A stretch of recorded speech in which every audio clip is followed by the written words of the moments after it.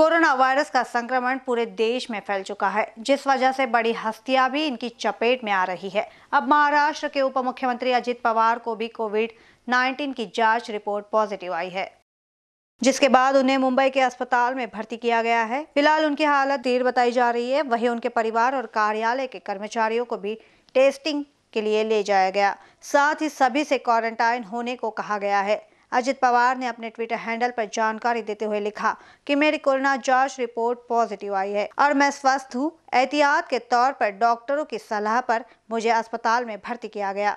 दूसरे ट्वीट में उन्होंने कहा कि राज्य के नागरिकों, एनसीपी के कार्यकर्ता और पदाधिकारियों आदि से मेरा अनुरोध है कि कि वो चिंतित ना हो। पूरी तरह से मैं स्वस्थ हूँ और जल्द ही ठीक होकर आपके सबके साथ फिर से काम करूँगा।